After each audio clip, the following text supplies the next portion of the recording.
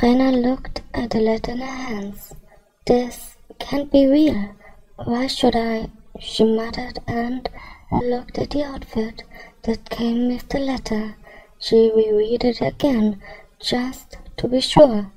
Can you wear this and help us out with Emily's bachelorette party? Love, Alice. After a minute, she grabbed the outfit and looked at it, wondering why she needed to wear such an outfit. Still, she tried the bunny outfit on and called her friend. So what's with the outfit, Alice? she asked. Alice smiled. Send me a picture and I will tell you, she requested. She signed and took a selfie. Alice laughed as the picture reached her. Nothing major. I'm sure you remember my childhood friend Emily. She and her fiance have a love for magic, so decided to bring a bit of magic. I'm her maid of honor after all. With that, did Rena stop her? Okay, but why me? Oh, I was getting to that. I need an assistant for this to work out, but I need someone that isn't involved in any other part of the wedding, and it's not like you don't want to play the role.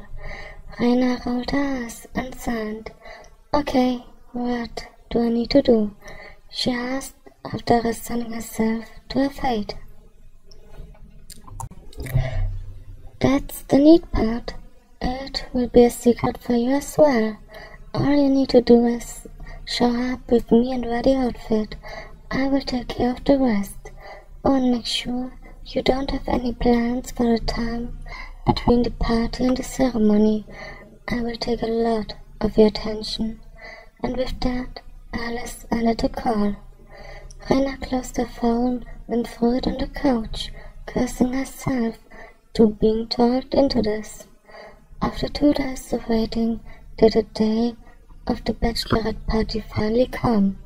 After thinking about it, did she just throw her black dress over the outfit and waited for Alice to arrive.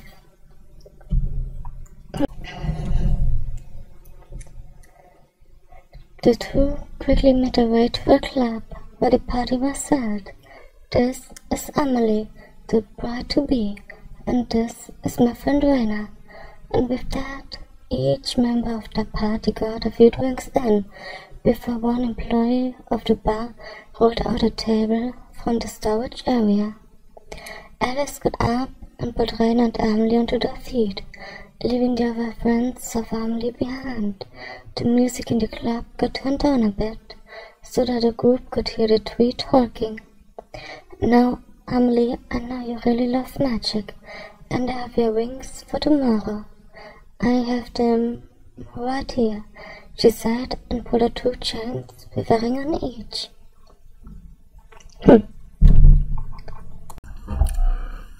Rena, if you could turn around. She followed the command, and Alice placed one of the rings around her neck and like a necklace and clipped the other to the right leg of Rena's outfit. Now the rings are connected by my lovely assistant, but the ones connecting these rings should be you and your fiance, she addressed Emily, so we have to separate the rings. Alice continued and pulled a blanket off the table, revealing a see-through version of a sawing in half box. Rena looked at it in horror. You can't be serious, she stuttered out, and Alice snapped her fingers. With that, Rena's resistance vanished. Good thing that still works. She smacked herself and guided the hypnotized assistant to the table. Emily got the honor to open the boxes and placed the restraints around Rena's ankles, hands, and her head. While she made sure that the girl couldn't move, the telescope large saw and handed it to the wife-to-be. Emily looked at the saw and the helpless girl. I can't. She started as she felt the sharp teeth of the saw. Alice took the and started sawing. It's just a magic trick, she stated and let Emily take over.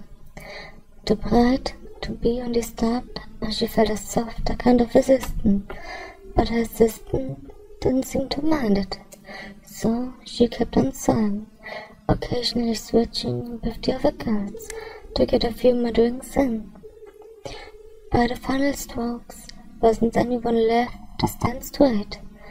Alice quickly managed to push the blades in before she fell against the boxes, letting them slide across the bar to the cheers of the people in the club.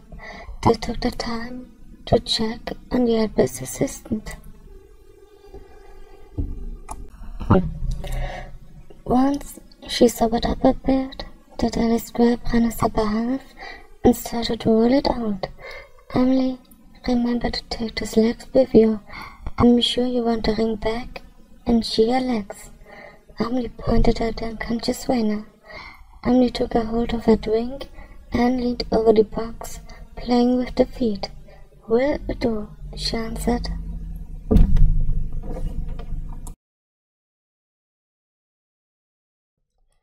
Thanks for watching.